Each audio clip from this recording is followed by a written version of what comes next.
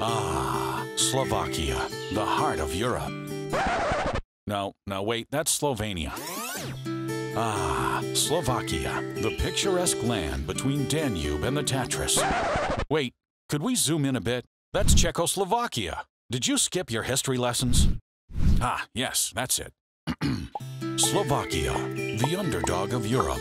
Depending on the angle you look at it, we are either a country that's 25 years young, born in the revolution where a country was able to split without bloodshed, completely peacefully, the Velvet Revolution, or a country that was started more than a thousand years ago by the trader Samo who defended our villages from the Avars.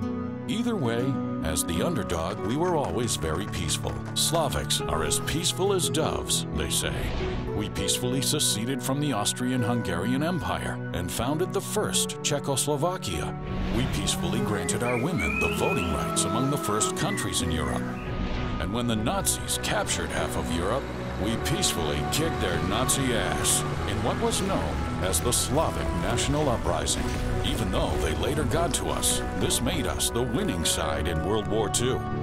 It seemed that better times were ahead, but sadly, they were not. We had to enjoy some 40 years of socialism where everyone agreed with the regime until they came home from work, where everything belonged to everyone, but no one had anything, where everybody had a job, but nobody actually worked. And here we are, back at the revolution 25 years ago. Since then, it wasn't always easy, but we enjoyed several years as Europe's fastest growing economy. We are the European tiger. Even though we never had any colonies, we colonized the world with great ideas and well-made products. The underdog became the player. Slovakia became the biggest car maker per capita in the world, home to some of the best brands you'll ever taste. Bratislava became the third richest region in Europe, richer even than London and Paris. And we are home to some of the bigger players in real estate development, the Slavic Tigers.